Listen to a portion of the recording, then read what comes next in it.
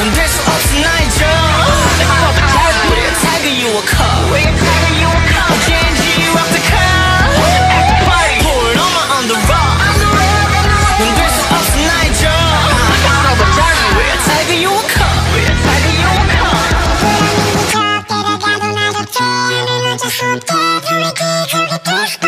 털어놓고 이긴 척해. 난 이겨놓고 침착해. 질책이나 젖셔줄까 했지만 그건 너무 비겁해. 더 배운 초딩처럼 뒤껍게 하면 여기서 너 바로 피딱돼. 엘레멘트리가 아니야. 정신 차리게 Mr. 피스팬 우리가 이기는 건 불보듯 뻔하고. 난 경기가 끝난 뒤 퍼블을 향하고 거기서 술을 마실 거고 그 너가 내 경기를 재밌게 봤다면 넌 꼭 말을 걸어줘 우리가 운명이라면 난옆곡으로 떠나는 빛